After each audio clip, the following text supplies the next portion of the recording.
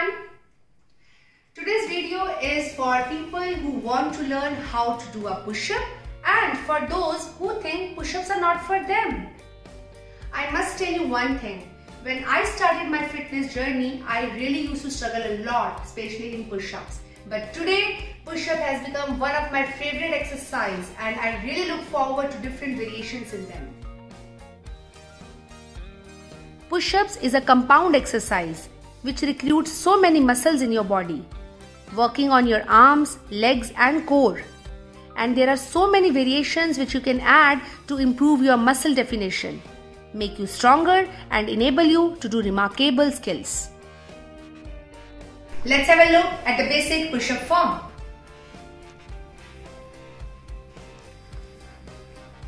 Place your palms slightly more than shoulder width apart. You are into plank position. Your core is engaged. Your glutes are tighter. You're looking forward, not down, not up. Now, Keep your core engaged like I said and inhale, lower your body down. Try to touch your chin down to the floor. Exhale, come up. So when I'm saying keep your core engaged means your body is going down as one unit and coming up as one unit. See it once again. Inhale. Exhale. Eh? Clear? Some of you may be the beginner, maybe at the beginner level. So let's add variation to this form. Let's start with the knees first, then on toes. Okay? So drop your knees down here. You're not in plank. Drop the knees down. Okay? Again, the same thing. Place your palms slightly more than shoulder width apart. You are here. Keep your core engaged. Keep your glutes tighter. Right? And Inhale, the lock your feet as well if you want. Inhale. Exhale. Inhale.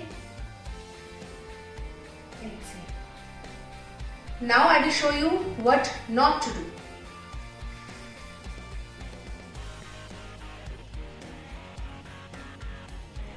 I am bringing my chin head of arms right, but what is wrong here? My knees are too much closer right into my hips. Place them behind to add more weight on your palms. Clear? This is the first thing. Okay. Now, my knees are behind, but still this form is wrong. What I'm doing wrong is, I bring my chin here. This is wrong. Okay?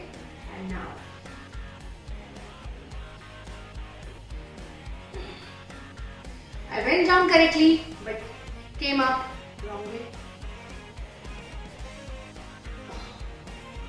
Clear? So you have to come up also as one unit. So don't lift your hip up and then chest. Your chest and hip is coming up at one time.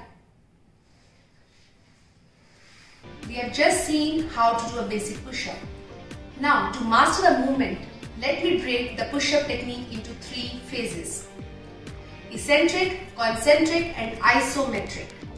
Let's have a look how to train on these three phases. Going down is called as eccentric phase of a push-up. So, let's do the first eccentric.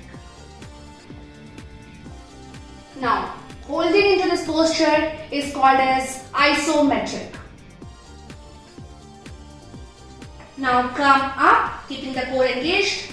This is called as concentric phase of a push-up. Again, holding into plank becomes isometric. I would recommend you all to train on these phases consistently and try to include them into workout routine at least twice in a week because regular practicing will not only help you to improve the form but the number of reps as well.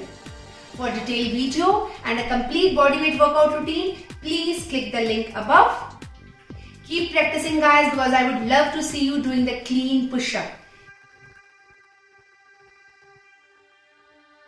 Keep getting stronger, get fit.